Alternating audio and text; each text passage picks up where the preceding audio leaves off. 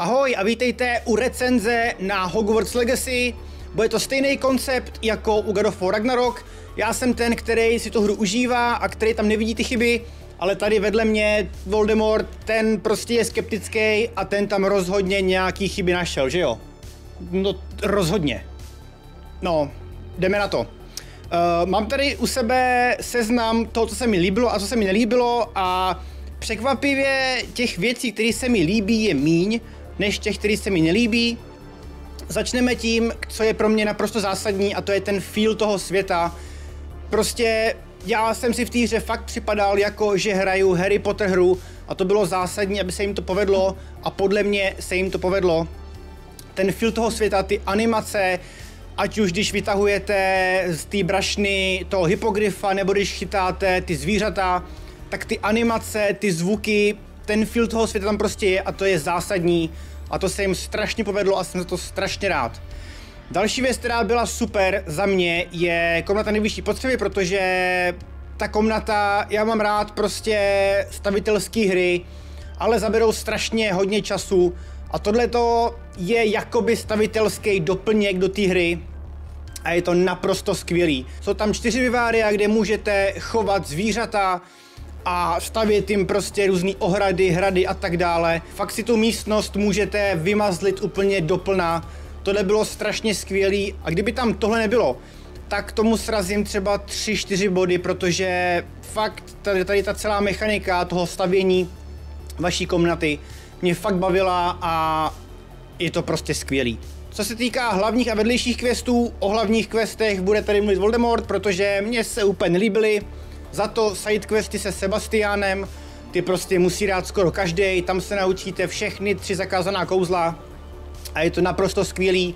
Tohle je trochu spoiler, ten quest má dva konce, pokud to náhodou nechcete vědět, tak přeskočte o třeba minutu dopředu. Ten quest se Sebastianem má dva konce, vy ho můžete poslat do, do Azkabanu, můžete ho udat, že použil kouzlo Avada Kedavra a můžete ho poslat do Azkabanu chudáka, a nebo ne a on v těch bradavicích bude i nadále vystupovat. Je to fakt jako miniaturní, uh, miniaturní změna, ale je tam, což je super. Takže sidequesty se Sebastianem byly naprosto skvělý. Ostatní sidequesty s tou Poppy a s tou Natsai, ty se mně úplně moc nelíbily. A ostatní sidequesty upřímně moc taky ne, ale o tom bude mluvit Voldemort, já mluvím o tom, co se mi líbilo, takže sidequesty se Sebastiánem naprosto, naprosto perfektní. Další hlavní prvek té hry jsou bradavice, je ten hrad a ten hrad je prostě parádní, i když občas mě přišlo, že tam jsou takový hluchý místa, že je tam málo studentů, ale ty skryté místnosti, ty puzzly, fakt to vypadá a ten feel z toho je, že to jsou fakt bradavice, což je skvělý. Vy v jednom questu jdete do kuchyně, kde vaří skřídci, oběd a večeře celé jídlo pro celý Brdavice. Tohle to nebylo vůbec ve filmech, ale teďka já čtu knížky, jsem už u Fenixova řádu a opravdu e, tam v těch knížkách Hermione, Ron a Harry jdou dolů do té kuchyně za skřídkama. Aspoň jsem si mohl trošku víc představit, jak to vypadá, protože to bylo ve hře krásně vidět. Vy tam prostě můžete jít do té kuchyně a rozjídnout se tam, za což palec nahoru. A celkově prostě ten feel z toho a taková ta cel, ten, ten, ten celkový pocit je za mě skvělý a fakt se jim to podle mýho názoru povedlo. A dokonce, dokonce v knížkách byla třikrát nebo už čtyřikrát jsem u Fenixova řádu a bylo to podle mě, zmínka byla v Askabanu jedna a potom dva, dvě zmínky byly v ohnivém poháru, že nějaká vzpoura skřetů byla kdysi dávno.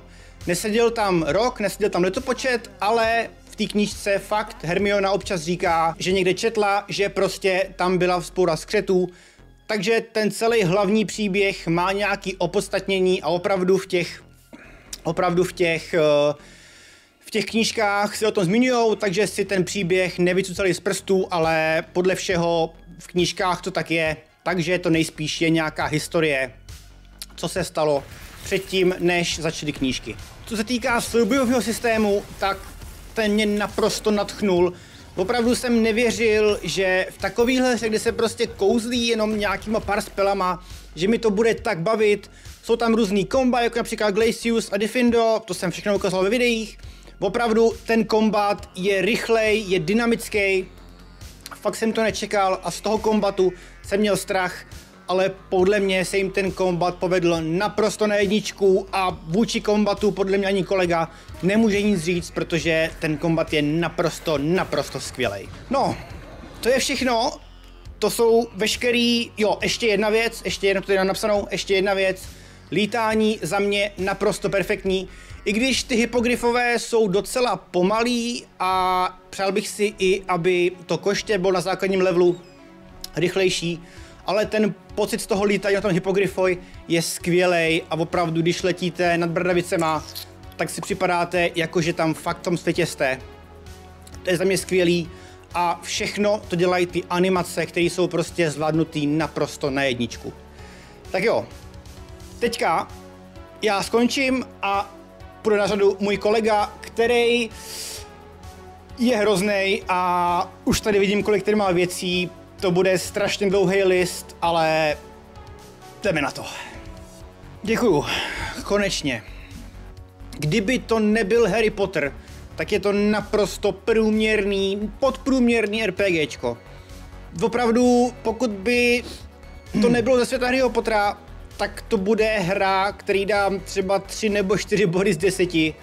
Ale takhle to brát nemůžeme, je to prostě hra s Harrym Potterem a, nebo z toho univerza, ale prostě, kdyby to fakt nebyl Harry Potter, tak je to naprosto průměrný RPGčko, co se týká lootu, ať co se to týká třeba vedlejších postav, sidequestů, prostě tak to je.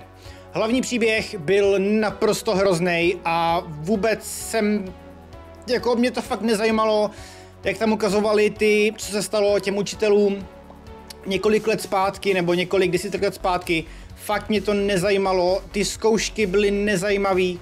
Hlavní příběh byl opravdu odpad, ten Runrock, ten hlavní záporák, tam nemá žádný prostor a v podstatě byl takový nezajímavý. Rockwood byl zajímavější, ale Runrock byl fakt jako hrozný. Hlavní příběh stal fakt za prd a já jsem ho dohrál teprve včera. Fakt mě to nenutilo to hrát, protože uh, to...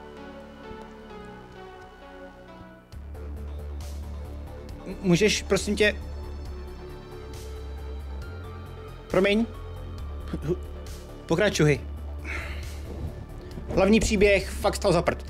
Dialogy jsou takový moc hraný, nemají žádné emoce, prostě fakt ty dialogy mě nebavily. Každá postava mě přišla, že mluví naprosto stejně. Dialogy nemají žádnou váhu a fakt jsem se u toho jako až občas nudil. Co se týká postav, tak hlavní postavy jsou jakž takž OK. Profesor Fig, nějaký učitelé, ale vedlejší postavy v vedlejších questech prostě nejsou vůbec zajímavý. Nemají skoro žádný charakter, prostě nezajímavý balast který, který nezachraňuje téměř, fakt téměř nic. Vedlejší aktivity jsou naprosto příšerný. Ty Merlinovy zkoušky jakž takž, akorát jich je prostě asi 90 a opakujou se, po pěti zkouškách se opakujou. Fakt nechápu, proč neudělali třeba 20 20 eh, těch zkoušek, ale aby byly všechny rozdílný a třeba i těžší. A udělat hru na 100% to je pro mě opět strašný grind. Ty Merlinovy zkoušky ještě jdou, ale potom uh, ty jeskyně, kde máte jednu truhlu, většinou ten item nemůžete použít, protože je horší, takže to je jenom na prodání. Těch, uh, těch jeskyň tam je strašně moc a je to na jedno brdo a je to hrozný grind a fakt jako hrozný.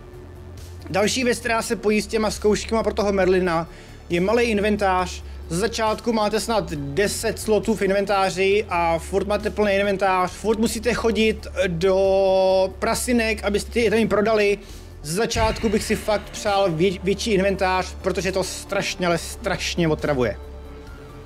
Dále tady mám uh, poznámku Fade to Black, to znamená, že strašně často i v rozhovorech, v cutscénách nevědějí, jak přelomit eh, cutscénu v gameplay anebo cutscénu v jinou cutscénu, tak to prostě, ta obrazovka černá a pak se to zase rozsvítí.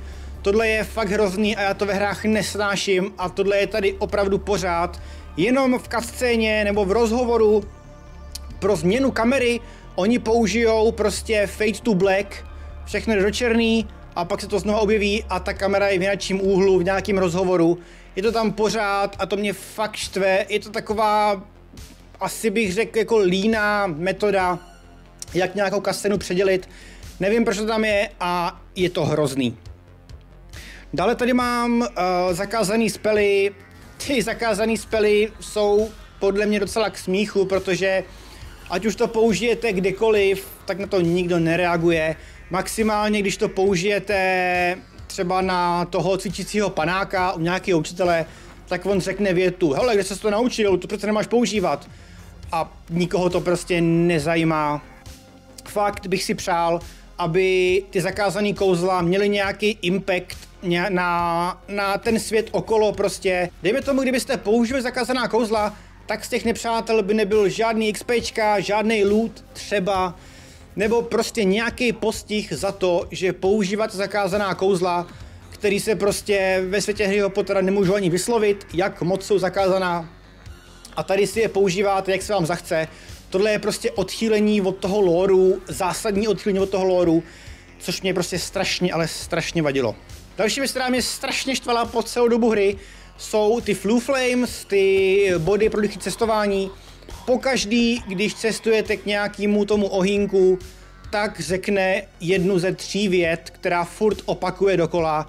A mě už to opravdu začalo štvát a lístkekem. Naštěstí to v peči opravili, takže teďka ta ženská u, u těch ohýnků by neměla moc často mluvit, pokud se někam teleportujete. Díky bohu, protože mi to fakt začalo štvát a už jsem fakt ty ty věty znám na spaměť a už jsem si je říkal společně s ní, když to ona říkala.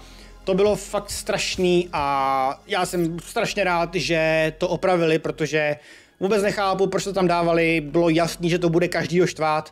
Jestli neměli žádný testery, který prostě to testovali nějak důkladnějc, nevím, tohle to bylo fakt hrozný. Tak jo, konec? Výborně. Puh, to bylo dlouhý. Děkuji moc krát za oba dva, děkujeme za shlédnutí.